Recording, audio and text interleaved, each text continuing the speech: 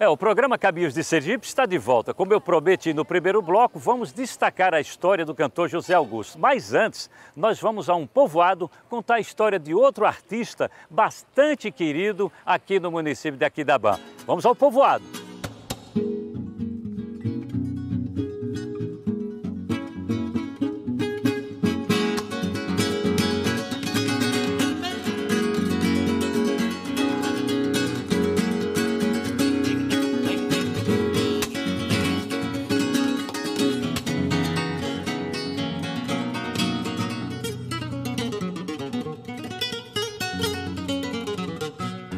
Artista muito querido da turma da vaquejada, né?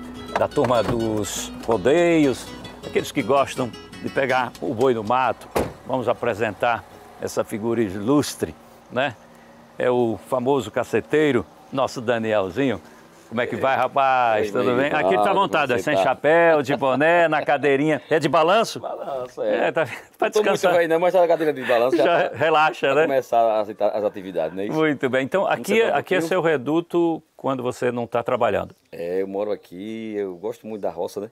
É, né? É, eu gosto muito disso aqui. Eu não gosto muito de morar na cidade, não. E o que é que você tem aqui na roça? Aqui tem quase tudo. Nós temos, temos frutas, temos todo jeito de fruta aqui, a gente cria de cachorro, cavalo, a gado. É? Tá gosta de gado. Gosta, você gosta do gado, não é só cantando não, é na é, realidade, né? Gosto. Eu nasci no meio do gado, né? É verdade. É, minha vida foi essa, sempre lutar com gado, com cavalo. Com tudo, de cachorro a, a gato, eu gosto de tudo. Vamos sentar aqui. Vamos sentar um pouquinho. Vamos sentar aqui. Senta aí, que eu vou sentar aqui do lado. Vamos prosar aqui um dedinho de prosa.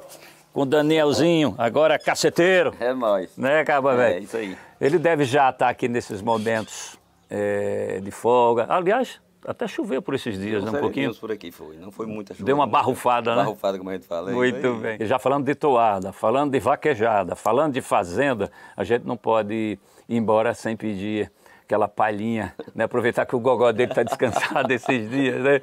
Eu vou passar a bola para ele. É isso aí, caceteiro. Vamos cantar a toadinha para vocês, mais ou menos assim. E... Fui visitar meu sertão, que eu nasci e me criei. Achei muito diferente, parei um pouco e pensei. Ao invés de cantar de alegre, senti saudade e chorei. Chegando lá não achei nada que eu tinha deixado. Botei a culpa no tempo, por ter sido encarregado em destruir as origens do sertão que eu fui criado. Fiquei impressionado com tanta transformação. Tem uma mesa moderna, tem uma televisão. No lugar do oratório que mãe fazia oração. É isso aí, caceteiros, são as coisas da vaquejada e coisas do nosso sertão. Valeu! Meu nome é Kathleen, o nome dele é Lucas. temos uma banda aqui em Aquidabã, sou artista da terra. É, a banda se chama Nina Kathleen e eu inicialmente vou fazer aqui uma capela e depois vamos pegar voz e violão e vamos aí, show de talentos um pouquinho para vocês conhecer um pouco nosso do nosso trabalho. Se quiser fumar, eu fumo. Se quiser beber, eu bebo. E não interessa a ninguém. Se o meu passado foi lama, hoje quem me difama viveu na lama também. Todas as pessoas do mundo pra si, é sobre saber que em algum lugar água zela por ti. É sobre cantar e poder escutar mais do que a própria voz. É sobre dançar na chuva de vida que cai sobre nós. É saber se sentir infinito no universo tão vasto e bonito. É saber sonhar. Então fazer valer a pena cada verso daquele poema sobre acreditar. Não é sobre chegar no topo do mundo e saber que venceu. É sobre escalar e sentir que o caminho te fortaleceu. É sobre ser abrigo e também ter morado em outros corações. E assim ter amigos contigo em todas as situações. A gente não pode ter tudo. Qual seria a graça do mundo se fosse assim? Por isso eu prefiro sorrisos e os presentes que a vida trouxe para perto de mim. E já estou no museu aqui da cidade de Aquidabã que presta homenagem a vários filhos ilustres, muitos deles já falecidos. E entre os filhos ilustres, o mais conhecido, o mais famoso, está aqui, o cantor sergipano José Augusto, que morreu é, exatamente em 1981, um acidente automobilístico no estado da Bahia. Era um homem que lutou contra o preconceito, a discriminação, foi para o eixo Rio-São Paulo fazer sucesso. Olha aqui, ó. Este blaze era bastante usado nos shows por José Augusto Sergipano. Ele gravou várias músicas que também foram regravadas por outros artistas, entre os quais Agnaldo Timóteo, como Sombras, Nada Mais, Beijo Gelado. Aqui estão algumas letras, né? Cinzeiro cheio, pertinho de quem amo, sem poder amar. Aqui o beijo gelado, né? Da, dos versos mais bonitos. Já não sinto em teus braços o mesmo calor. Já não sinto em teus lábios o mesmo sabor. E aqui, olha que detalhe importante está a carteira da Ordem dos Músicos do Brasil, do cantor José Augusto Costa, o José Augusto Sergipano. Gravou mais de 20 long plays, os LPs em vinil. Aqui estão alguns deles, né?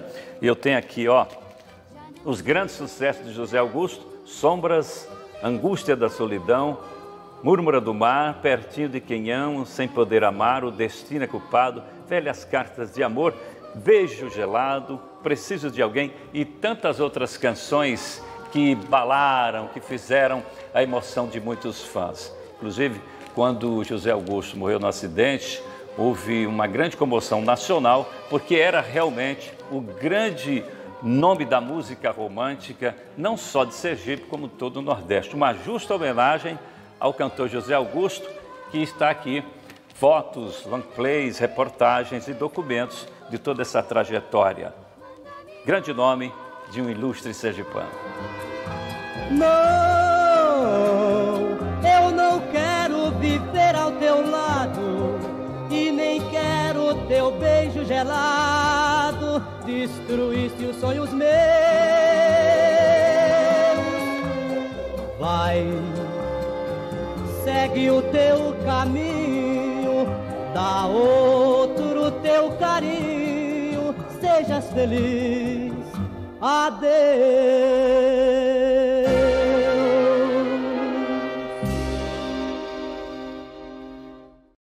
O que representa eh, José Augusto para Aquidabã, o, a obra dele e por que essa ideia do museu e alguém da família também herdou esse talento?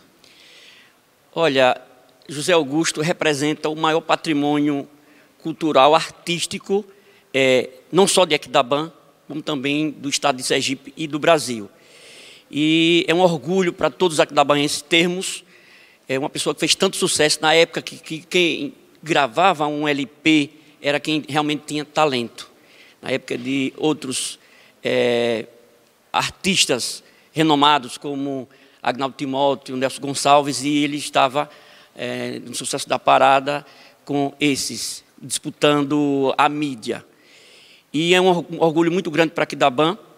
E em virtude disso, nós resolvemos, em 2011, é, criarmos aqui um, um, memorial, um museu, é, primeiramente para homenagear José Augusto. Esse, esse memorial, esse museu leva o nome do cantor José Augusto. E também colocamos toda a riqueza histórica, toda a riqueza patrimonial é, de Aquidabã aqui. É que eu sofro tanto? dos meus olhos o pranto não para mais de rolar.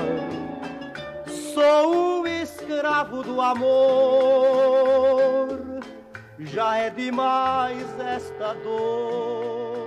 Estamos aqui na casa de Zito e Nemésio de Borborema. Aliás, o Nemésio tem um filho que é também sofoneiro, tocou em várias bandas famosas pelo Brasil. Vamos aqui, ó. Olha aqui na televisão. A artista anda em televisão aí, ó. Olha lá, olha. Olha o fole, olha. Olha o sorriso. Esse é o Paulinho. Nessa época estava com a calcinha preta de Paulinha Silvana.